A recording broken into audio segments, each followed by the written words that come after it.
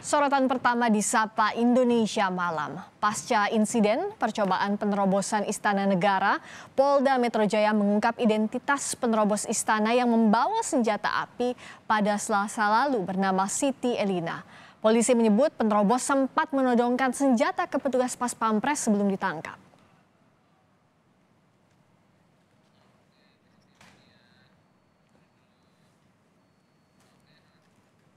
Kabit Humas Polda Metro Jaya, Kombes Endra Zulpan menyatakan penerobos istana bernama Siti Elina yang diketahui tinggal di Koja, Jakarta Utara.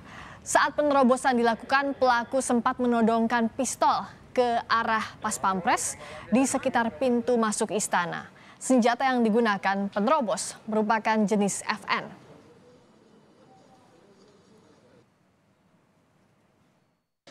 Tersangka yang kita ketahui bernama Siti Elina berjalan mendekati anggota Pas Pampres yang bertugas jaga di depan pagar Istana Negara Jalan Merdeka Utara yang kita ketahui berjenis FN ke arah anggota Pas Pampres. Kemudian tersangka ini berusaha menerobos pembatas area steril atau ring satu Istana Negara dengan menodongkan senjata ke anggota Pas Pampres.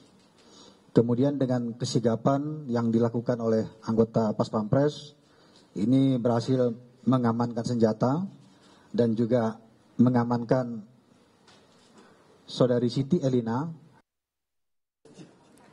Polda Metro Jaya memastikan senjata yang digunakan perempuan penerobos istana ilegal Senjata itu diperoleh pelaku dari pamannya sehari sebelum melakukan penerobosan di Istana Kepresidenan.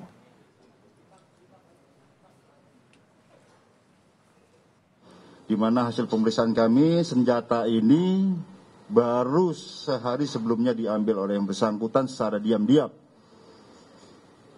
Yang ternyata ini adalah milik pamannya.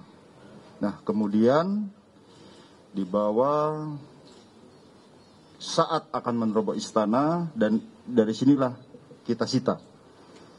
Dan kemudian kita konstruksikan juga dengan pasal 335 KUHP karena adanya paksaan baik fisik maupun psikik psikis sehingga orang bisa berbuat atau tidak berbuat sehingga pada saat itu petugas harus melakukan tindakan tegas terukur namun tetap humanis